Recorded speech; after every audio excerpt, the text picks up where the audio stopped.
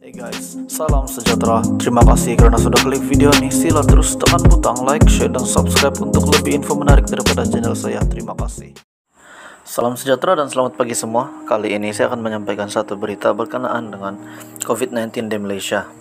Selama satu minggu ini telah banyak case ataupun masalah yang sudah timbul ukuran daripada peningkatan case COVID-19 di Malaysia.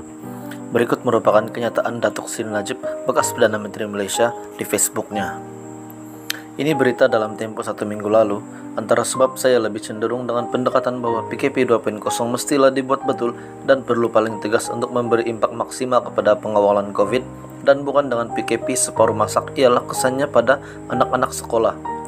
Dalam tempo seminggu yang lalu saja, sekolah-sekolah seluruh negara ditutup satu persatu apabila kes positif COVID-19 dikesan. Sekejap buka, sekejap tutup balik sebab anak murid atau staf dijangkiti COVID-19. Jika sekolah buka pun, ibu bapak akan fikir nak hantar anak ke sekolah ke tidak sebab penularan COVID tetap tinggi. Katanya lagi, adakah kita nak tunggu 18 bulan lagi sebelum vaksin selesai diberi kepada 70% warga Malaysia sebelum mereka boleh rasa selamat untuk hadir ke sekolah ataupun ke mana-mana. Tapi kini kita sudah membazir 18 hari dengan PKP setengah masak katanya lagi.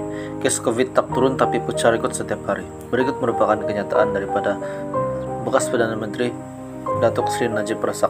Sekian saja berita pagi ini, terima kasih. Terima kasih karena sudah menonton video ini. Sila tekan butang like, share, dan subscribe jika Anda support channel ini. Terima kasih.